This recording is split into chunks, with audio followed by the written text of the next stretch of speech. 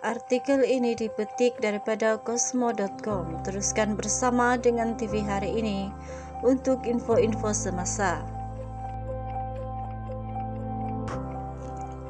Penyanyi Alif Aziz kembali menjadi sebutan ramai apabila tular sebuah video memaparkan seorang lelaki sedang berseronok dalam kelab malam didakwa mirip dirinya.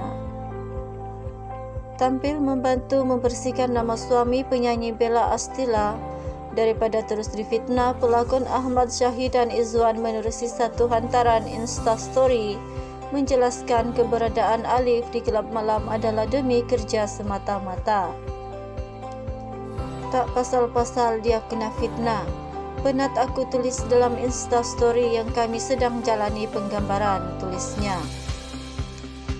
Difahamkan Syahidan merupakan antara yang turut membintangi drama tersebut selain Alif Aziz dan Sophia. Menerusi video tular berdurasi satu minit tersebut, suami kepada penyanyi Bella itu dilihat berada dalam sebuah kelab malam turut dilihat ditemani seorang wanita di luar premis tersebut. Sementara itu, rata-rata netizen berharap Alif tidak lagi mengulangi kesilapan lama dan menggunakan peluang yang diberikan keluarga dan masyarakat untuk menjadi individu yang lebih baik.